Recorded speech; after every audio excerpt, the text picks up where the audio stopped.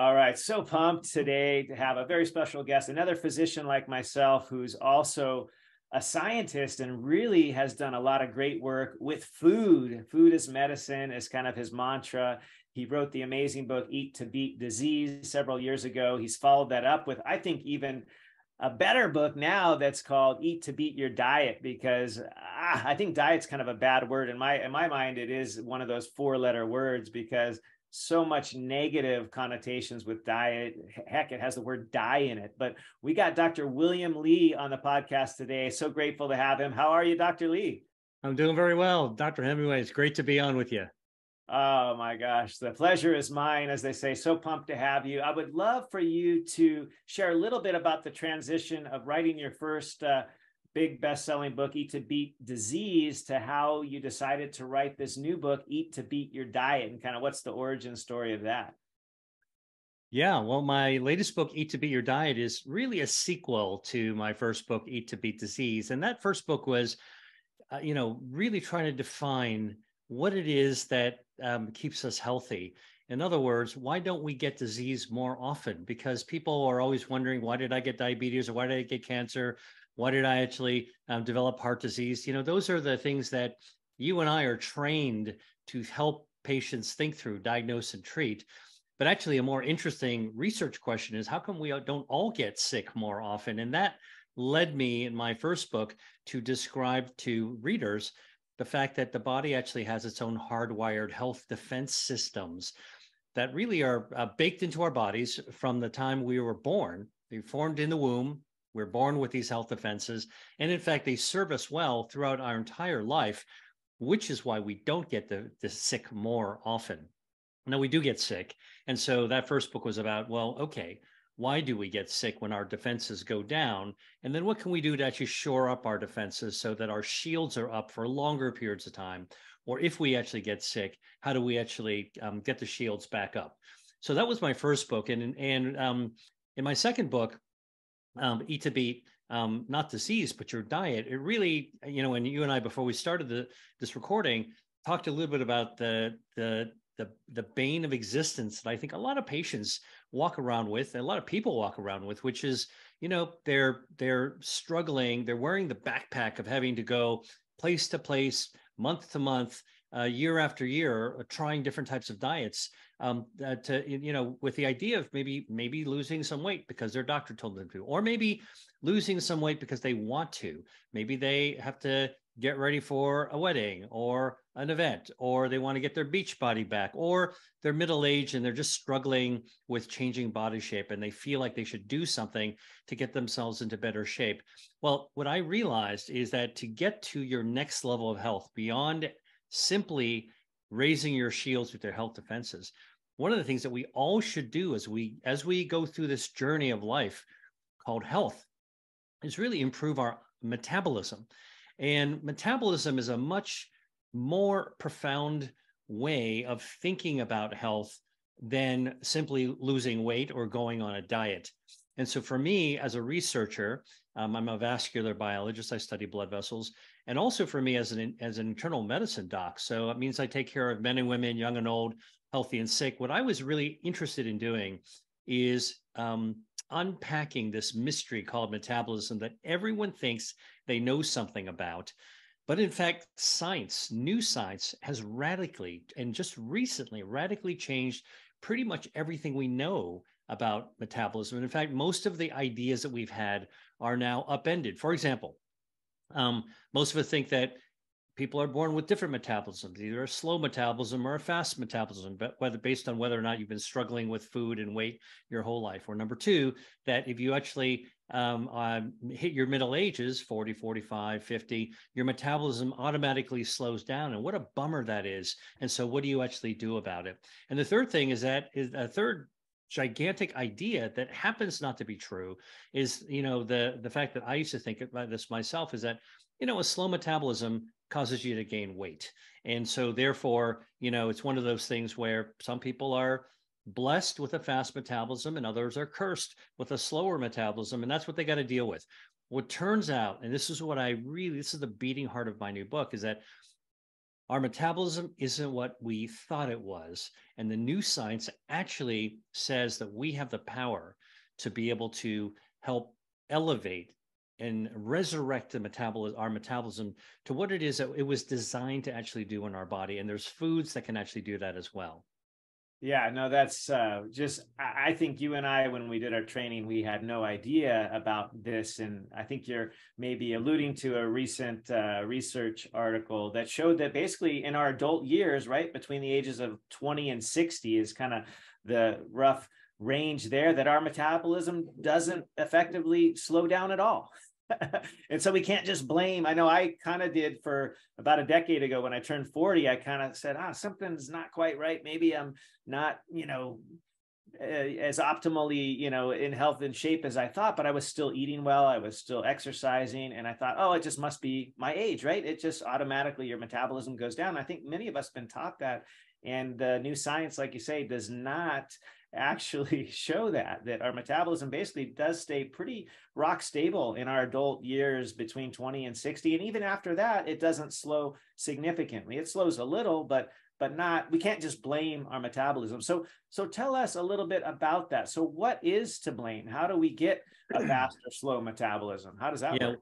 Well look let, us first kind of um, go back to basics because yeah you know, when you and I were training in medical school, we were taught pretty much the Wikipedia definition of metabolism, right? Metabolism is the sum of all chemical reactions in the body to create energy using ATP and blah, blah, blah, blah, blah. Things that actually, you know, going all the way decades back would make my eyes glaze over. And, and I don't know about you, but, you know, it, it doesn't actually, um, that def, those definitions may be true to some extent, but they don't actually tell you what to do. And so when we're actually talking to patients or really looking in the mirror and thinking about ourselves. And I think anybody watching or listening to this will uh, relate to this. You know, so uh, based on what you're saying about metabolism, what am I supposed to do?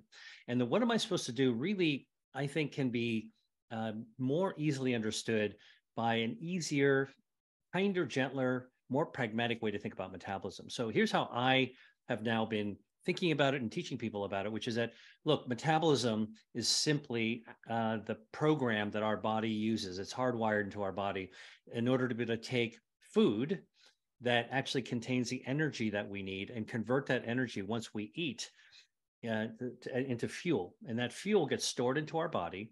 And then our body is able to use that fuel uh, to power up the engine. That our engine being our cells and our organs. So whether we're actually going to work, doing the laundry, going for uh, you know training for a marathon it's all the same. M- metabolism simply put is really food uh, you know, taking the fuel storing it and putting into our into uh, to putting it to use. Very similar by the way to how if you have a car and you're driving um, a gas car still basically we sit and drive uh, from point a to point b without thinking about how the fuel is stored and taken through into the engine of the car to power the pistons uh, so that we can actually get through. However, we do think about our, our uh, engine and the gasoline um, a couple of times. Uh, uh once, when we have a problem, we actually think a lot about it, but, but also we think about it more regularly when the fuel tank runs low, runs towards empty.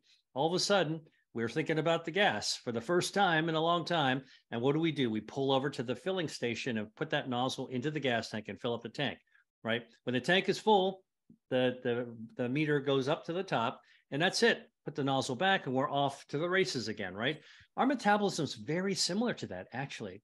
And instead of going to the gas station when our tank is running towards empty, um, our brain and our organs signal to our body, hey, you know what? Time to fill up and we pull over to the dinner table or to the restaurant or to the refrigerator, to the pantry, where we get, we fill up with fuel, which is food. And that's, I think, a much easier way to think about it. Now, one of the things that is really remarkable about our metabolism that I discovered and write about my book is how dependent our metabolism, in other words, our energy levels are, to um, a healthy amount of body fat, meaning fat is actually critical for us to have a good metabolism. Just the opposite of what most people think, right? Most people think, oh, I don't want any fat at all. I want to have, I want to be as lean as possible. I want to have the minimal amount of body fat. And, and that's how I'm going to be better. I'm going to be healthier that way. Wrong. Actually, turns out that we all need a certain amount of body fat in order for us to be healthy. And here's how it works basically, as adults, our relationship to body fat and thinking about metabolism is pretty skewed towards negativity, right? Yeah. So uh, I'm sure, uh, Dr. Hemingway, you and I have shared this as well as anybody watching this. You step out of the shower in the mirror, you're drying off, and out of the corner of your eye, you see the mirror and you see a lump or a bump. I don't care what your body type is. You know, you could be pretty lean, but you still see it. Something that doesn't belong there and makes you unhappy. So then you curse, like, man, I need to get in better shape. I got to be eating a little bit better now. Then you step on the scale, and that number isn't exactly the number you were expecting or hoping for.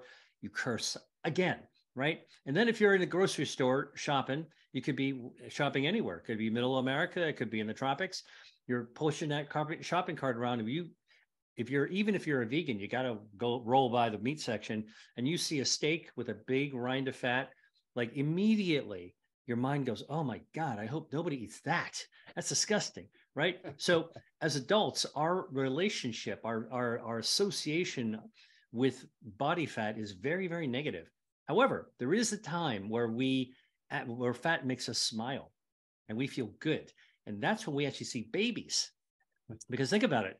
When you see a newborn or you see, you know, an infant, the thing that makes us grin and smile ear to ear is a big fat baby big chubby tummy, big fat cheeks, arms and legs that look like balloons that the circus clown twisted into a poodle, you know, um, that makes us smile. And so somewhere in our kind of primitive brain, we actually intuitively know that fat can't be all bad. So here's what the biology says. Fat has four functions that are absolutely critical, actually five. I'll go quickly through them, and and they they all are. It, it all actually matters to our health. And the reason I'm saying this is because before we curse body fat, we need to understand why what it actually does for us. That's good that we want. Number one, fat is a is padding. Okay, it's like packing peanuts uh, uh, in a in a shipping box. Thank goodness we have padding because if we didn't have any body fat of any sort, if we tripped on the rug and fell on the floor, some of our more delicate organs might split open. You're ER doc, you know, you've probably seen plenty of that, that, that trauma that can actually occur. Thank goodness we've got some padding. Number two, our body fat, which starts out in life associated with our blood vessels. So right where our circulation is, body fat builds around it. It turns out that um, our body fat or fat cells, adip- uh, adipose cells is what they, we call them, actually are the fuel tanks. The same way that we our car has a fuel tank, that you put the nozzle in to fill up for the gas. Our fat cells has a have, has another function, which is it's a fuel tank. Unlike a car tank, which is rigid and made out of steel, fat cells can stretch, and that's why we our fat can get bigger. So when we're filling up with fuel, a tiny little fat cell will expand up to three times its size, blows up like a water balloon. All right, and so that's really important, by the way, that filling up with the fuel because when we're eating, it fills it up, but when we're not eating, all right. And I'm just talking about sleeping. I'm talking about, you know, between meals. Uh, what happens is that our body relies on that stored fuel to burn it down. So we've got the energy. I don't know why they didn't teach us this in medical school this way. It's so much easier to understand. All right. The third thing that's really amazing about um, fat this is that fat's an actual organ in the body. These days, we actually classify fat as an endocrine organ. Endocrine meaning it makes hormones. There's 15 hormones that fat has been discovered to secrete. Three of them actually are necessary for our metabolism, necessary for our metabolism. One is called leptin. Some people might think of that as a satiety hormone, I meaning it makes you feel full. It's kind of like the right way to think about it. It's actually more of a, a dimmer switch on your light. Okay. And, and it's actually connected to the fuel tank. So like like in your car. So when the leptin switch is low, the lights are dim, it's kind of like your gas gauge reading low. Hey, you know what? You got to fill up. So you go over to the dinner table to start filling up. All right. When the lights bright switches on, fuel tank is is full.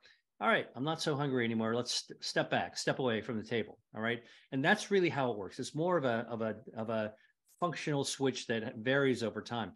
Hey, listen, if we didn't if we didn't have that gauge, we wouldn't know when to fill up our tank or not. All right, so very important to even have any energy at all. Um, Number two, another uh, hormone is called adiponectin. Adiponectin, part of the name, uh, is connected to the fat tissue it's coming from ad- adipose uh, cells. But here's the amazing thing about what adiponectin does. It is um, a hormone that is 1,000 times higher in its concentration in your blood than any other hor- organ uh, and the other hormone, higher than thyroid hormone, higher than estrogen, testosterone, higher than cortisol. So, and the amazing thing is why is it so high? It's because adiponectin made by our healthy body fat cooperates with insulin so that the efficiency of drawing in fuel into our cells to power up our engine is as efficient as possible. The more adiponectin you have, the more efficient your metabolism is. All right, so we need that. Our fat actually fuels that up. And then another hormone is called resistin. And if adiponectin is the, the gas pedal, the accelerator, resistin's the brake. It's, it's like getting into the fast lane. Oops, the truck's ahead. Slow down a little bit. So we can actually we can actually jockey back and forth in terms of our metabolism. And these this is actually healthy fat will do this. The fourth thing is that fat, surprisingly, um, uh, there's a special kind of fat that can actually fight too much fat. It's called brown fat. It's a space heater and it fires up. And then the fifth role of, of fat, healthy fat tissue it's actually um, a um, uh, it's actually a parking lot for about 15% of our immune system. So our immune system hangs out. Um, uh, it's kind of like the bleachers uh, for uh, our immune cells. They're just hanging out there. And so long as our fat is healthy, it'll actually, um, uh, all these functions are working on our behalf to support our health. And by the way, this is why, partly why, why I wrote this book is to say, after our basic health, how do we take things to this next level? And it turns out that healthy body fat is connected to a healthy metabolism. And the things that we used to fear, we used to vilify fat. No, we want to actually respect our fat. And in fact, we don't want to cut it out, suck it out, burn it, or poison it. All bad ideas. We actually want to tame our fat. And, and one way we can actually do it, surprisingly, is to eat foods that can help our uh, help fight fat.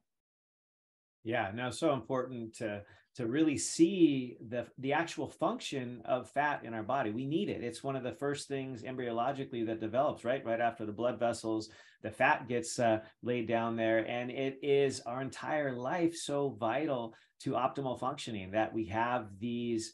Uh, or this functionality as you just described in the fat. So what what goes wrong, Dr. Li? How does our fat become diseased? How does it yeah. get really inflammatory like what what where where can we make the sort of steps to kind of right. curtail this this uh this diseased fat in our bodies and how do we heal it how do we tame it? yeah it?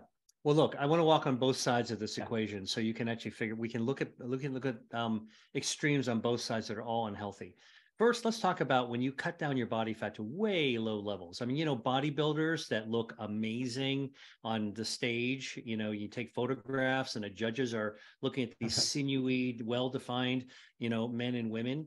Um, uh, that's amazing, but they all have 5% body fat, 3% body fat. I mean, extraordinarily low body fat. Well, you know what? When you don't have enough body fat, forget about the padding aspect. That's bad enough. Yeah. But your hormones aren't being secreted. Those fat hormones, the leptin, the adiponectin, resistin, and so you can't draw on your energy. So you can't. Your your your energy levels actually go down, and and this is why ultra low levels of body fat for for bodybuilding competitions, for example, you can't sustain it. it like like bodybuilders actually go into a crisis, metabolic crisis, and it can actually be fatal. So this is one extreme. And by the way, I'll t- let's take this extreme even further.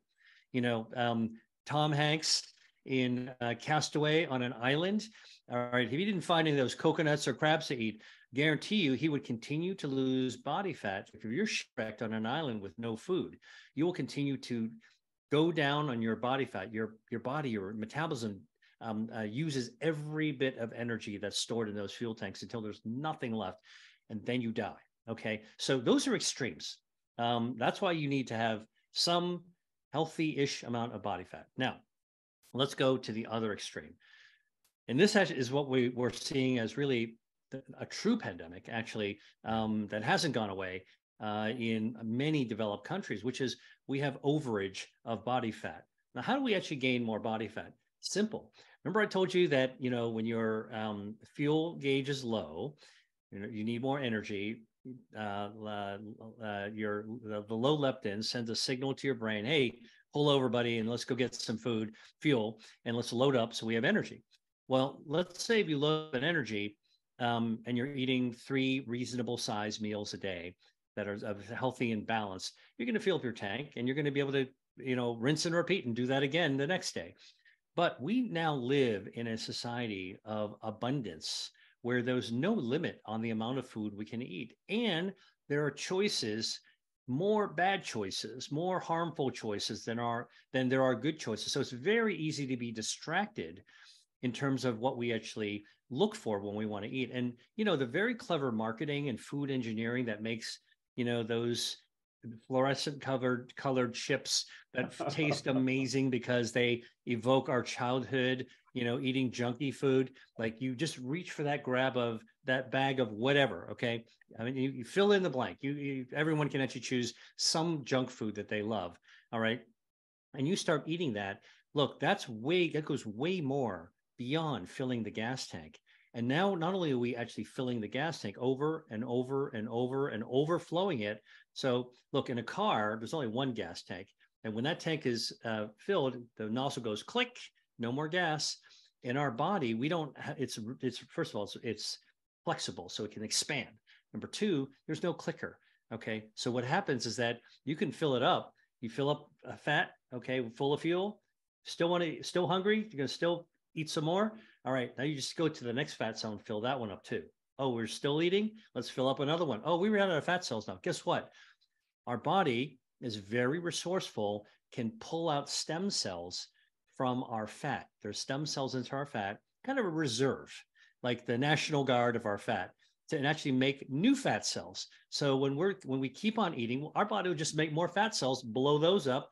Oh, still more? Bring it on. Let's make some more. And you can kind of see how over and over, the more we eat, the more we overeat, and this is not just one time at a meal. I'm not talking about having seconds and thirds. Okay. Although that matters as well. I'm talking about day in and day out, week after week, year after year, a lifetime from teenage years all the way to adult years of overindulging, eating food. And by the way, the food isn't high quality fuel anymore. If you're eating a lot of junky food, you're at the gas station, right? And you're filling up your tank with your car. What if you consistently chose the cheapest, poorest quality gas and you just filled up your car with the with the crappiest gas you can find. You know, you might do that once in a while, not going to hurt your car. But if your entire existence of your car, you're only filling it up with the poor cheap fuel, guarantee you it's not going to last as long as somebody who takes the time to actually uh, Uh, and puts the investment in for high quality fuel over time. That car is going to last a lot longer than the one that's got crappy fuel. So, back to the analogy of the human, overeating crappy fuel, okay, crappy food, junky food that not only overloads our fat and grows it bigger and bigger, but also damages the other body defenses because of artificial preservatives and artificial coloring, artificial flavorings, okay, all these additives, okay, um, and and change properties, microplastics, all kinds of other things we're loading into our body. It's going to gum up our tank and actually screw with our metabolism. Now, now we're actually getting towards this chronic disease because we've got a mound of fat much bigger than it needs to be. Guarantee you, you cannot actually just overnight sleep off that amount of fuel you have just accumulated. Okay. Now, what happens is that you will burn it down over over time. But if you keep on overeating, take uh, you know one step forward, two steps back, you're going to keep on gaining it. And here's the problem: when our healthy fat that normally keeps us alive and keeps gives us energy outgrow, gets so big it outgrows its blood supply. Okay, what happens is that the mass outgrows its blood supply. It's an organ, like needs blood supply. What happens is that in the middle of that fat mass, it starts to actually die. It's called hypoxia. Can't get enough air. All right. Um, it's like a heart attack of your fat. All right. And what winds up happening is that any tissue that becomes hypoxic or starts to become oxygen starved, inflammation sets in right away. All right. It's kind of a defense uh, maneuver, but big, big honking fat, uh, dying in the middle, oxygen starved, inflammation sets in. Now you've got a big mass of inflammation. And when this happens, I'm not talking about your double chin or your under your arm, your or your um, your muffin top. I'm talking about inside the tube of your belly. This is called white fat, visceral fat's another word for it, gut fat, wrapped all around your organs. You've got this big choking mound of, of fat strangling your organs and filled with inflammation, leaking out, seeping out everywhere. It's pretty easy to understand while overeating, poor quality fuel, uh, over amount of time leads to excessive, harmful, inflammatory body fat that sets you up, sets us up for every chronic disease you can imagine cardiovascular disease, um, uh, uh, diabetes, metabolic syndrome, diabetes, cancer. Um, we even believe, besides obesity, that this is also one of the fundamental uh, uh, uh roots that actually could lead to dementia later on as well. Uh, and other types of neurodegeneration is, you know, this excessive inflammatory state. But here's the thing body fat, remember, is actually normally really healthy. So the power is in our control to be able to yoke it back, you know, um, and and try to bring it under, bring it, get it back into shape, so we can actually remove some of that inflammatory mess. Yeah, no, I'm glad you mentioned that, especially the the point about the visceral fat, which is kind of if you want to fate, uh, if you want to hate a type of fat, hate the vis- visceral fat. That's the stuff that you don't want. In fact, which even you, people that that are thin that that have excess visceral fat they can look quote unquote look healthy right the so-called skinny but not healthy you know people out there that they may not even know that they have this highly inflammatory fat hidden in their insides around their wrapped around their organs and you and i have seen this whether it be when we did our dissections in medical school did our general surgery rotation when you have your organs enveloped with fat this is not a good thing. And it is very diseased, inflammatory fat. And you can be skinny and not healthy. And so paying attention to visceral fat is super important. Um, what were you going to say about the visceral oh, fat? I, I, I, was just going to say there was a study done of women. This is out of uh, uh, Cornell Weill Medical Center, where they looked at almost three, they looked at more than 3,000 women who actually uh, were not obviously overweight not obese. They actually looked normal too thin. Um, and, the, and they're like normal body mass index, as I say. Um, uh, and they studied them for 13 years and they measured the amount of uh, visceral fat that these uh, women had. Now, some women had very little and some women had a lot. And they followed them over time and they measured their blood tests over 13 years all women uh, uh, over time, and they measured who actually had breast cancer. And it turns out the women who had the, with had the highest amount of skinny fat, visceral fat. Remember, these are all women. These look pretty normal body shape, size. Um, those women who had the highest amount of visceral fat that could not be seen by the naked eye, all right, um, had twofold increase in the risk of developing invasive estrogen positive breast cancer. So it just goes to show you, and and their fat hormones were all over the map. Um, uh, and they had huge amounts of inflammatory markers. So we see this. This is not a theory. This is a fact. And so, you know, for anyone who's watching this saying, ah, you know what? I don't listen to metabolism things. I never got on a diet in my whole life. This, what we're talking about, Dr. Hemingway, is not about a diet. I mean, you and I both talked about this idea of it. Like we believe in anti-diets because look away from the diet think about inner health and taming body fat is a very important part of inner health yeah so so important and i think like you said the the real root of every disease out there is inflammation and that visceral fat is highly inflammatory and basically every disease we know about from the number one killer which is heart disease to the cancer to the uh, even diabetes and obesity can be a very uh, inflammatory state. And so, in your book, which I, I, love your new book because it gives us so many ideas of not only what kinds of foods can be really helpful, but you even have recipes in there. In fact, one of them that I, I noted last night, I was just thumbing through some recipes, and it was one of the simplest things you'd ever seen. And it was basically watermelon with chili pepper, salt, and lime. And I've always eaten fruit with uh, salt and, and a little bit of spice too, uh, especially uh, people that don't know this, if they have a real sweet fruit, like for example, in Hawaii, we have a lot of pineapple. If you mm. sprinkle a little chili pepper on that, a little bit of salt, it's insane. Your taste buds are like exploding with flavor. and what I love about your new book is you have so many ideas of not only the types of foods, I forget how many hundred you list that are helpful, but also you have actual recipes in there that we can go to because I think too often we think about, oh, somebody's talking about food. They're just going to tell me all the stuff I can't eat. Like nobody wants to. In fact, that's why diets don't work, right? They deprive us. They tell us, oh, we can't eat this, we can't eat that and yet you have the additive. These are all of the things you could consider adding to your diet. And i'm sure you know this but there are literally like 200 plus thousand edible you know vegetables fruits foods out there that are great for us. And we as humans on average eat less than 200 and three or four of them make up 60% of our calories. It's crazy. Like we need to broaden our palate. And so maybe speak to that a little bit and some of your favorite healthful foods which may have this effect to to help tame the fat or even burn fat and kind of you know some of your your pearls on the food part and what what you love sure. on on on doing sure. that.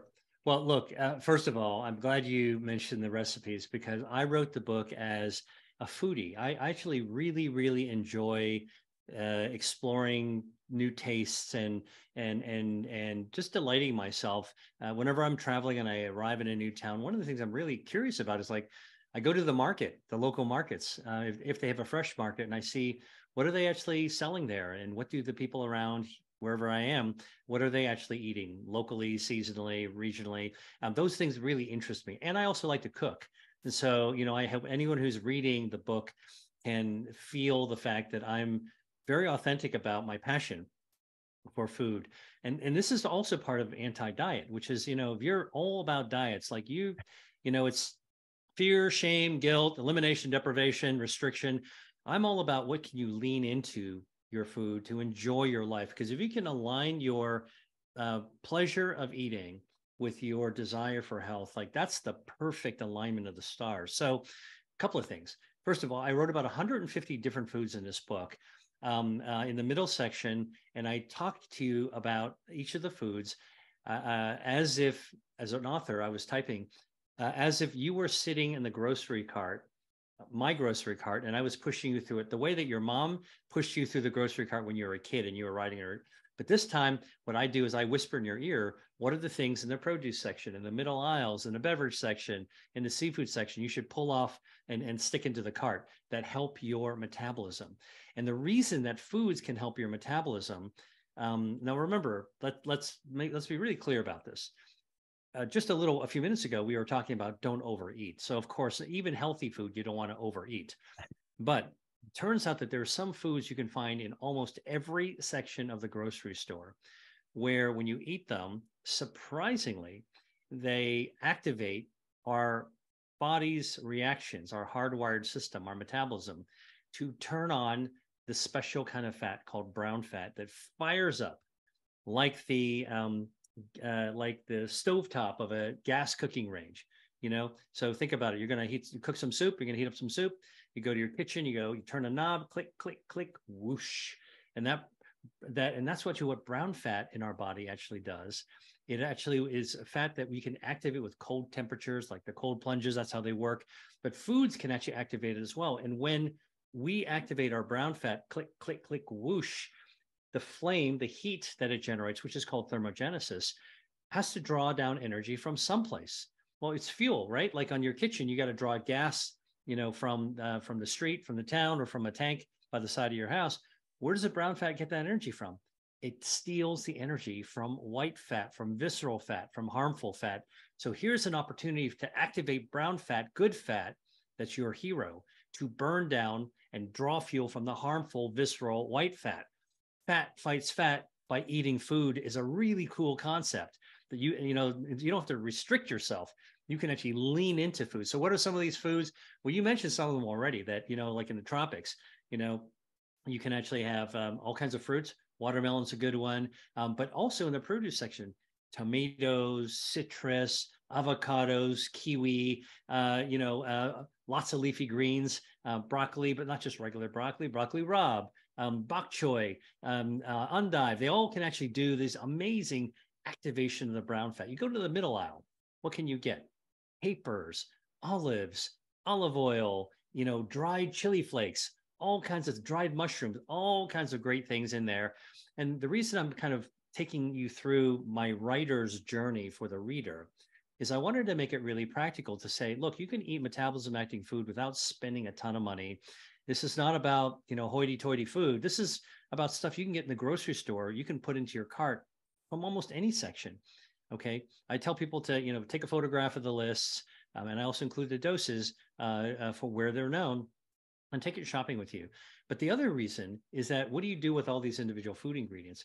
Well, for me, my approach to putting together ingredients, I love um, Mediterranean food. So Italian, Spanish, uh, Southern France, Spanish, Greek food. As I mean, there's a, there's more than 20 Mediterranean countries. They all have amazing recipes. Israel's on you know, the Mediterranean.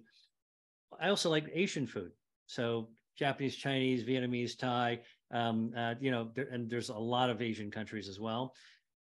These countries, these areas, Asia and the Mediterranean, have the um, most revered and to me tastiest culinary food traditions, food cultures uh, in, in human history. I mean, who doesn't like to go to a, Mediter- a restaurant that serves Mediterranean food and find something that they just love, right? Or go to an Asian restaurant and you can find something that you really, really love. And so to me, I call it medit. You know, people ask me, Doctor Li, what diet are you on? And I said, no diet. I don't do diets. And they're like, well, so how do you eat? And I said, well, that's a great question because I have a way of eating, an approach. I call it Mediterrasian. It's not fusion, although it could be. Uh, rather, what I do is I automatically, when I'm at the grocery store, when I'm planning a menu, when I go to a buffet or go to a restaurant, open a menu, I'm actually looking at things that I recognize either fall into Mediterranean genre or Asian genre. I'll naturally go there because those recipes tend to actually use ingredients that activate my metabolism, help me uh, fight harmful body fat, and also activate my health defenses. So that's really my approach. I have got recipes uh, come out of my own kitchen, by the way, um, in my book, Eat to Beat Your Diet, and also kind of meal plan. The meal plan is not a it's not a codex. It's not a um, it's it's not a rule book. It's a guide because everyone's journey is their own. Everyone has the favorite things they like, things that they don't like, and that's completely fine. Yeah, no, that's so great. And for me, I, I also consider myself a foodie. And and even from the time I was a kid, my parents, my friends' parents, they always described me as a good eater. And I love tasty cuisine. And I've taken several trips over my lifetime to the Mediterranean, Italy, Portugal, all these places. And my favorite thing is to do exactly what Dr. Li says go to their markets, see what they eat, go to their local restaurants. I mean, I literally just light up when you serve me a plate of home cooked food from wherever it is in the world right. you know and it's it's one of my favorite things to do and so I appreciate that you share that because a lot of people they have you know, as well as with the fat that we talked about at the beginning, we have this negative connotation. Oh, fat is the enemy, fat is bad. Well, actually, fat is our friend and it does a lot of cool stuff. Food should be our friend too, and we should enjoy it. We should literally, ha- I mean, for me, it's one of the highlights of each and every day of what I'm going to eat. I love to eat and I love to eat. You mentioned in the book, and, and we get, didn't get into this, but I just wanted to share that the, the people you eat with, you know, how you prepare it and all of the things that go into the meal and I think the Mediterraneans, I, I know them more so because I haven't been to Asia, but um, other than a couple of trips to Bali and things, but um, the the people there, food is a big part of their day, right? They sit, they gather, they prepare together, they hang out, and you know they have two, three, four, five courses, and it's a whole experience. And and, and when they and and in these food cultures, when they get together to eat, you know they're not talking about their troubles they're not talking yeah. about their work they're not you know what they're talking about they're talking about the food that they're eating yeah. they're that's part of mindful eating is actually to know and appreciate what they're eating like if you go to if you go to some of these mediterranean countries and you sit down with friends and family and they serve the food which is the local traditions uh, people are talking about the food. They're talking about how their mom makes it. They're talking about the last time they had it and how they would prepare it themselves. It really is a completely different experience. And by the way you know lest anybody feel like you know that oh this is dr hemingway and dr li. They you know they're able to travel and and uh, listen these days go to the simplest grocery store to pick up one of these metabolism activating foods. And if you don't know how to actually work with it if you don't know how to do it um, uh, here's what you do take any ingredient that you want to explore, type in, go to Google, type it in, put type in that ingredient, and then type in Mediterranean, okay, or Asian, and then type in recipe and video. Okay, hit the video, and this is anybody who has. If you have a mobile phone that can get on the internet, this is that's all you need. Click a video, and you can watch somebody teach you how to cook it with a video in their own kitchen with passion and authority and make it easy for you. And so this is why we don't really need to be global trekkers uh, anymore to be able to uh, enjoy this. Now, if you can go, I mean, please don't go to an American restaurant when you're traveling around. Uh, like just like you know, be be one with wherever you're you're at. But when you're home, you know, wherever home base is, okay, please also just recognize that there is a world of ingredients out there and an even bigger world of traditions of how to prepare them. It is time to get past and go put into the past this idea of food is something we need to fear. We need to rediscover the joy of eating and align that with our joy of health. Yeah, no, so important. And it just gets me excited because it's so easy now. We all have these you know almost all of us have some kind of an internet connection whether it be on our phone or desktop whatever it is we can we can literally go and grab one thing. That's what i actually share with my patients and those i'm working with is just choose one thing to add every week. Like one thing we can all do one thing. And then figure out like dr li says just go to google and see what a recipe is in a video and you can figure out how to use this thing. Like for me in hawaii the first time you know i moved there 30 years ago everybody was eating um, this thing called bok choy and if you don't know what that is just google it there's all kinds of really interesting ways to prepare it and I'd never had it before. I grew up in California, mostly ate Mexican food and, and just whatever my mom prepared, but I'd never tried bok choy and I had no idea what to do with it. And I had a couple of people show me, here's how you prepare it, you know, and maybe another week it was something with the taro root, which is common in Hawaii. It's kind of like their version of the potato, right? That kind of purple potato. I learned how to prepare that. And if you just take one thing a week, you'd be surprised at how quickly your palate will not only appreciate it, you'll love it, but it but it's it's fun. It actually brings the passion into just this thing we call eating, which I think in, in America, Dr. Li, my, my thing that I see most people, they're just in a rush all the time. It's like, you got to sit down, got to eat, then you got to get on to the next thing. And you're just missing out on this experience uh, connecting with your food. The, the next thing three times a day should be the, the, the, the joy that you actually have. You can take a break. It's not even a break from the normal thing. It's actually something that, you know, in many parts of the world is a real pleasure to do. You get enjoyment uh, out of it. So, you know, I do think that um, uh, people are waking up to this idea that it's time to take control of our health. We can't just um, relinquish our health to our health system. I mean, look, you and I are both doctors, and so we're trained to be on that end, you know, the healthcare delivery part of things but you know isn't it ironic that it takes doctors to actually you know turn around and cross that line to say hey you know what? Use the hospital if you need to. Use a doctor if you need to. But honestly the health care you do is between doctors visits. You yeah. know like you want to do this all by yourself and you are the world's expert on your own body. Yeah no put the power back into each and every one of us and i think that's the beauty of your new book is you just give us all these ideas. You keep it real simple you know? I love the journey in the grocery store. Like i you know like most people will tell people oh you don't want to spend a lot of time in the middle aisles but there's some there's some gold in there you know like i said the the chili pepper flakes and the olives and, and the spices and there there's actually some pretty cool stuff in there and even the seafood aisle that a lot of people love to hate and i take your your approach. I love seafood, but the reason why is I know how to prepare it and I know how to eat it when it's well prepared. People that have never had it prepared well, oh, it's too fishy, it's too this. Is no, it's there's so much, you know, gold in there. And so I I love the new book. It's so practical, it's so simple. It really helps us to understand better the importance of fat and our metabolism, how to get it to really work for us. And so I, I, I just want to give you a few moments. I'm, you know, want to be respectful of your time with us, but share with us any kind of parting thoughts um, and just how we can get your book and, and reach out to you and become a part of your amazing community. Yeah, well, thank you. Uh, first of all, uh, uh, I'm a researcher, so I'm said every day when I roll out of bed, I'm actually uh, sitting in front of a fire hydrant of new research information coming at me on food and health. And so I do a lot of heavy lifting, uh, which is to sort through all the information, see what is um, worthwhile, which one is actually important, what is news you can use. And so I put that out. Like part of my mission is to get that information out to people.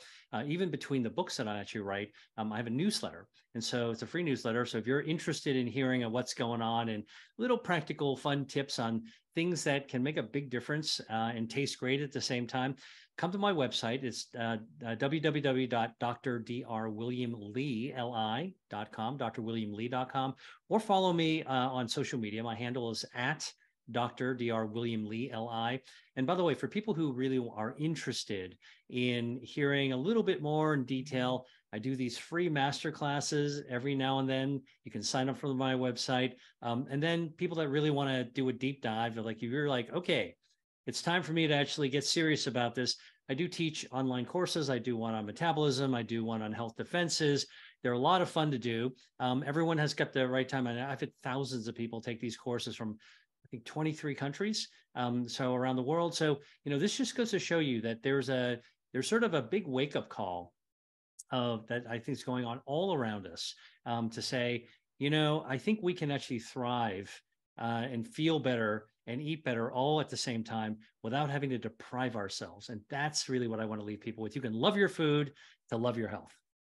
Oh my gosh. Yeah, such such an important message. Food is so powerful and it should be enjoyed. I think that's one of those primordial things that that we as humans we want to be able to have a relationship that's healthy and that's just really enjoyable. I know it's one of my favorite things to do and I'm so uh, just so grateful that you came on to share your passion with us and and also the ease and simplicity that it, it, doesn't have to be hard you know it's it's not strict it's not rigid and even in your book you detail out you know maybe just here's the list of kind of do a little bit less of this and then here's the bigger list of all the things to add. And so thank you for for doing that and thank you for being here with us today. Really really appreciate you.